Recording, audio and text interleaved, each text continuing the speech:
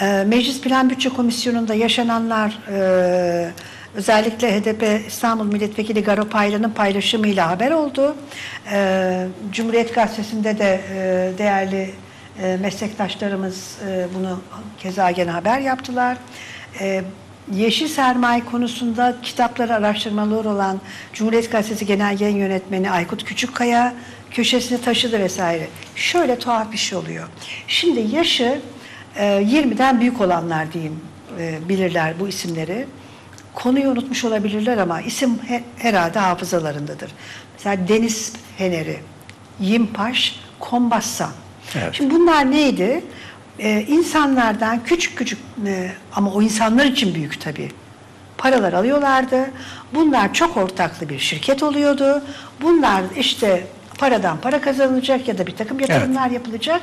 O küçük insanların küçük paraları Aynı zamanda cennetin yolunu açacaksınız. tabii o da var. Cennetin yolunu. Şimdi Refah Partisi e, Erbakan döneminde tabii ki e, önemli isimleri olarak Erdoğan ve yakınındaki bütün isimlerle birlikte bunun destekçisiydi.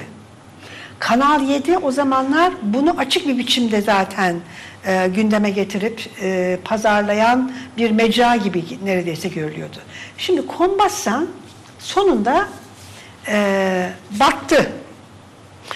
Mesela vatandaşlar e, hani arşiv unutmuyor.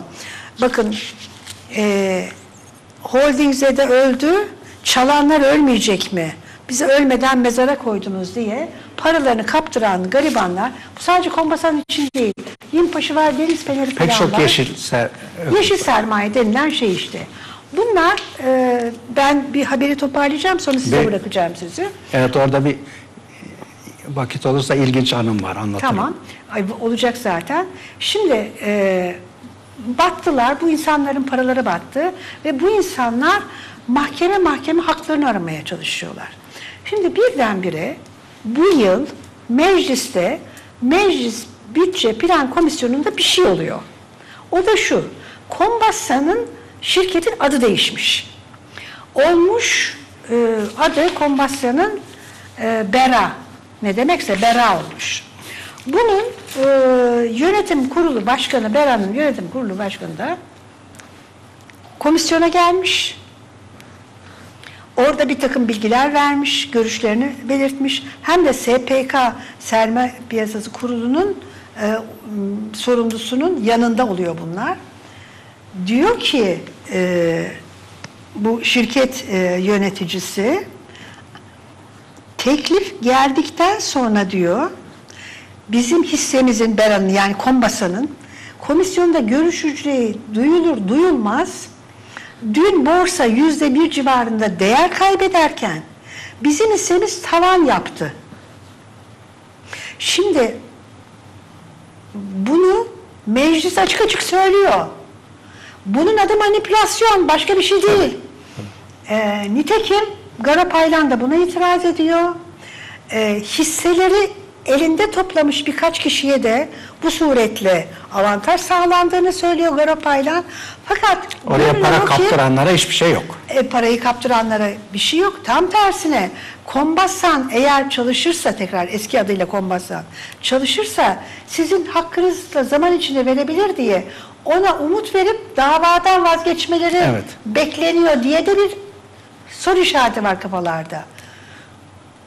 Bu niye yapılıyor? Nasıl Şimdi yapılıyor? bu yeşil sermayenin çok konuşulduğu bir dönem vardı. Ben de bunların sorunlarını durmadan meclise taşıyan milletvekillerinden biriydim. Pek çok arkadaşımız da bunu yapardı. Onun üzerine Almanya'dan o, o bölgede yayın yapan bir televizyon kanalı bizi davet etti. Canlı yayına. Hatta şimdi e, Maltepe Belediye Başkanı olan e, arkadaşımız Kılıç'la beraber gittik. Sabaha kadar canlı yayın yaptık. Bütün şey orada. Mağdurlar orada. Şimdi birisinin dramı. 62'de işçiler gitmeye başladı biliyorsunuz şeye. Tam o sırada gitmiş. O günden bugüne ne kadar birikimi varsa işte camiye gelen e, yimpaşçılar bunun paralarını almışlar. Demişler ki zaten şu kadar gelir elde edeceksin her ay. Ayrıca cennetin yolu. Hep bunlar cami avlusunda veya cami e, cemaatinden toplanan paralar. Şimdi çocukları da e, biraz işte artık okumuş yazmış daha uyanmış. Baba yapmayın. Bu kadar faizi geliri kimse size veremez. Bunlar batakçı filan demiş. Diyor ki çocuklarımla da aram açıldı. Perişan oldum. Gittim paramı oraya yatırdım. Sonra baştan bir iki para verdiler. Ondan sonra bekliyoruz bir kuruş yok. Ne oldu? Zarar ediyor banka dedi. Şey dediler. Yimpaş. Peki ya çaresi ne? Demişler ki bu Yozgat'tadır bunun merkezi. Sen git Yozgat'ta onlarla bir görüş belki kurtarırsın paranı. Gittim diyor. Konuştum herkes işte biz şimdi zarar ediyoruz. Kar edersek gene vereceğiz. Akşam oldu diyor. Yatacak yer arıyorum. Ya burada otel filan bir şey var mı diye e, soruşturdum. Evet Yimbaş'ın oteli var dediler. Diyor. Aa. Yimbaş'ın oteline gittim diyor. E, e, tamam buyurun gelin yerimizde var. E, 100 avro verirseniz demişler. Düşünün diyor ya benim paramla adam koca fabrika kurmuş, e, otel yapmış ve sonunda benden para istiyor diyor. E, işte onlara bir de işte gece yarısı oldu. Dediler ki yatacak yeriniz var mı? Ya zaten siz batmışsınız dedim. Bizim yatacak yerimize niye? Ya olsun dedi. Yani insanlığımızı da kaybetmedik Hani o ya. e, Evimize gelirsiniz. sizin acaba yatacak yeriniz var mı demek lazım onlara. Evimize gelirsiniz, evde sizi misafir ederim. Sonra bu ben geldim, kanun teklifleri verdim filan. Onu duydukça işte bana haber gönderirler. Biz topluca geliyoruz. Ya çocuklar gelmeyin. Buraya geldiğiniz zaman zaten gene benimle konuşacaksınız veya muhalefetle konuşacaksınız. İktidar sizin. Bir diğer e, şeyi ihlası anlatayım. E, İhlas Holding o da biliyorsunuz halktan çok para topladı. E, Sonra İhlas tasfiyeye girdi. Tasfiye aşamasında biz bir baktık ki yani oraya para kaptıran insanların anlatımından e, öğrendik ki e, tasfiye memurlarını istedikleri gibi belirlemişler. Ve onlar istedikleri gayrimenkulü satıp gene istedikleri insanlara para veriyorlar. Ee, dedik ki biz bir önerge verdik plan bütçe komisyonunda hemen ee, şey yapsın bunu devlet yapsın. Plan bütçe komisyonundaki AKP'lileri de ikna ettik. Oy birliğiyle çıkardık mı? Ee, Ertesi gün sabah bir geldik baktık temesefe yapsın dedik. Bunların suratı bir asık ne oldu dedik. Maalesef oylarımızı geri alacağız dediler. Niye? oy nasıl geri alınıyormuş acaba? şey yani tekrar müzakere açacaklar şey edecekler. Latife tabii. Reis bunlara demiş ki siz nasıl buraya geldiğinizi zannediyorsunuz demiş. Ha, Bu şimdi ihlaslar filan olmasaydı siz milletvekili filan olamazdınız. Çok önemli, çok önemli. Siz buraya nasıl geldiğinizi biliyorsunuz. Evet. Şimdi Aykut Küçükkaya Cumhuriyet'te bu dosyanın takipçisi diyor ki aslında diyor AKP diyet ödüyor diyor. Evet. Yeşil sermaye. İşte şey Şöyle söylüyor. Tamam işte buraya nasıl AKP geldiğinizi hatırlayın diyor işte. AKP kendisini büyüten şirketlere resmen diyet ödüyor. Er, e, Aykut Küçükkaya'nın yazısını okuyorum. Bu da bu düzenlemeyle e, bu şirketler hakkında açılan davalarının önü kapatılmak, sonrasında dava açılması engellemek e, isteniyor. Şimdi e, bir madde bu e, plan bütçe kanununa konulan. Bununla Kombasan, Yimpaş ittifak yanı sıra Cet Fadıl diye bilinen Fadıl Akgündüz isimler de kurtarılıyor, kurtuluyor. Yani gerçekten e, bizim cebimizden, sizlerin vergisinden bunlar kurtuluyor.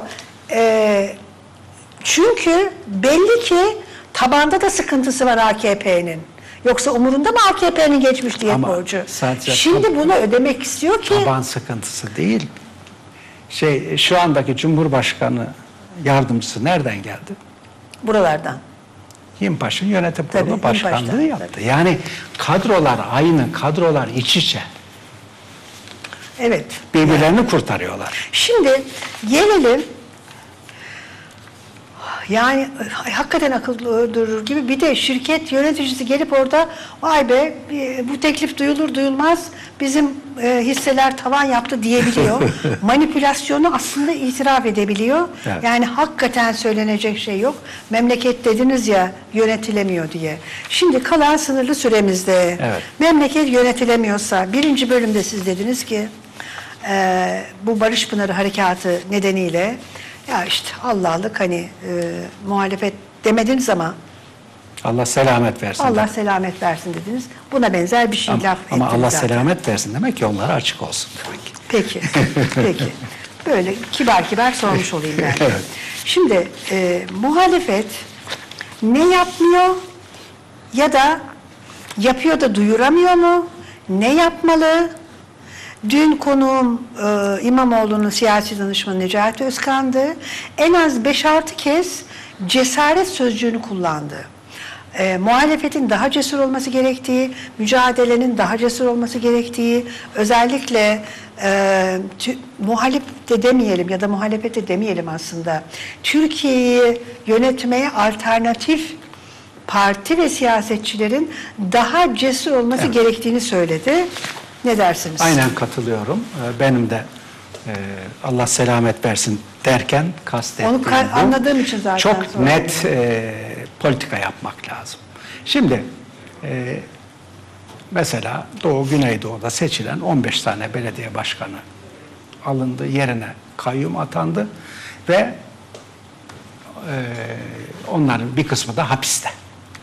Şimdi bu konuda CHP bir şeyler söylüyor. Fakat hemen vay diyorlar sizin millet ittifakında ortağınız İyi Parti bundan hoşlanmaz. Ee, işte şey gece yarılarına kadar televizyonlardaki şeylerde gördünüz mü biz diyorduk HDP ile şeyin ittifakı var CHP'nin. Onun için bunları şey ediyor. Halbuki siz demokrasi için bunu bu mücadeleyi yapmak zorundasınız. Çünkü seçimle gelenin seçimle gitmesi lazım. Bundan daha doğal bir şey olabilir mi? E, bu insanlar e, aday olurken e, savcılıktan belgesini almış, başvurmuş. Siz de ona aday olun demişsiniz. Sonra seçildikler 3 ay sonra vay bu terörist diye görev. Mesela bu konularda e, muhalefetin çok net e, politika yapması lazım. Onu getirir, bunu götürür böyle korkuyla şey etmez. Siz yol çünkü bu ittifaklar filan ne olursa olsun bunun öncüsü e, Cumhuriyet Halk Partisi'dir. Esas parti odur. Siz e, cesur muhalefet yaparsanız, kamuoyunu arkanıza takarsanız pek çok insan sizinle gelip ittifak yapar. Fakat korka korka e, iş yaparsanız kimse e, arkanızdan gelmez sizi yarı yolda bırakır. Burada. Şimdi bu e, Suriye politikasının nasıl başladığını hepimiz biliyoruz. Şimdi burada da çok e, anlattınız, e, incelediniz. E, yani Türkiye'nin Davutoğlu'nun bilmem ne politikası nedeniyle biz buraya geldik. İşte deniliyor ki geldiğimiz noktada başkan ne yapsaydı? Ben Petrol Ofisi Genel Müdürüyken şey vardı bizim bir e, ambarlı santralımız vardı. Bir milyon ton fiilol tüketirdi. Ben de onun fiilolünü sağlayamadığım için e, çok büyük sorun çıkardı. E, herkes derdi ki e peki ne yapalım? Ya kardeşim ben olsaydım bunu yapmazdım. Bir milyon ton tüketen şey yapmazdım. Daha çok baraj yapardım, daha çok kömür santralı yapardım filan. Bunun gibi bu savaşla ilgili bir kere ilişkileri buraya getirmezdik. İlişkileri buraya getirdikten sonra vay ille savaş mı? Savaşa gelinceye kadar bunun kaç tane yolu yok mu?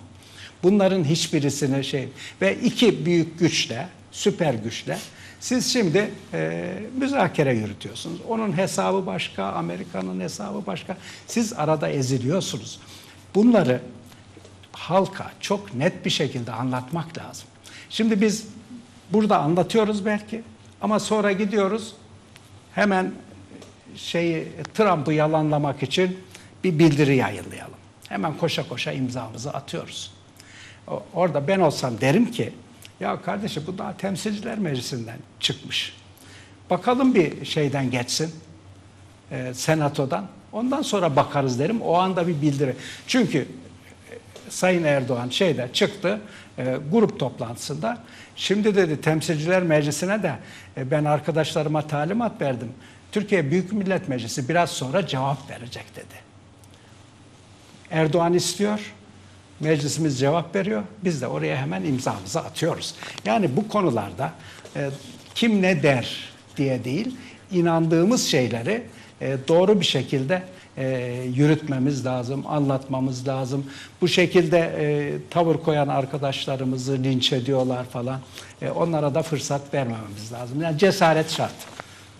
Şimdi e, cesaret şart evet. Özellikle Türkiye'nin e, içeride ve dışarıda e, dışarıda geldiği e, nokta itibariyle E, ve her şey üstelik de e, kişisel hesaplara dayalı. Az önce söylediğiniz Fuat Oktay Yimpaş'tan gelme. E, Cumhurbaşkanlığı yardımcısı. Şu anda bir yardımcı var. Herhalde yakında Binali Bey de olacak. Cumhurbaşkanlığı yardımcısı şey. E, ama e, bir bakıyorsunuz orada Yimpaş e, üzerinden, Kombassız'ın üzerinden yeşil sermaye ile bir kucaklaşma, el ele Evet. halay çekme meselesi e, gündemdeyken e, bir FETÖ meselesidir, kapanmadan gidiyor. Evet.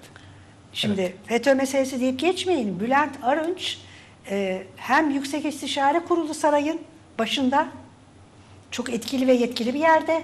Yetkisi yoksa da etkili bir yerde. Özgür ağırlığı da vardı ya beyefendi biliyorsunuz. E, çok ağırlıklı bir yerde. Özgür ağırlığı var ki damadını da kurtarıverdi. Ku- Evet damadını kurtarıyor.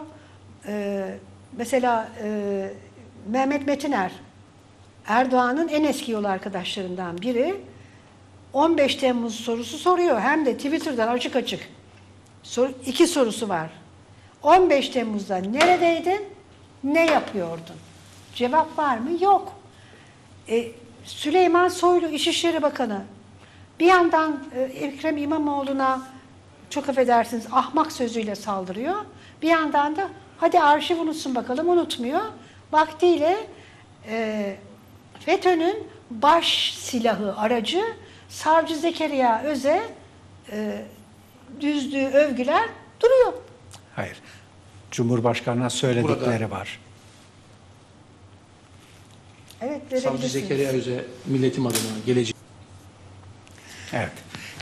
Yani e, Bir de bir de şunu yapmak lazım. Ee, ne yazık ki Türkiye'de kitleler çok korkutulduğu için.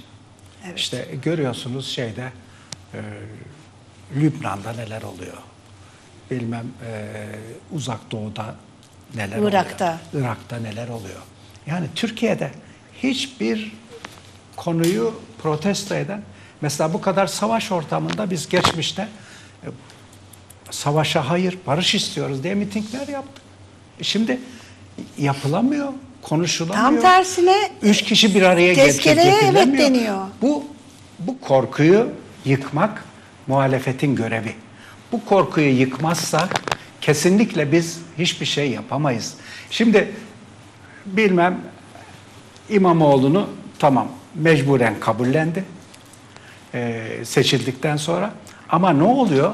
Bu sefer elini kolunu bağlayarak bilmem yetkilerini belediyenin elinden alarak e, Boğaziçi'ni yıllardır devam eden statüsüne rağmen niye sen merkezi yönetime bağlamak istiyorsun?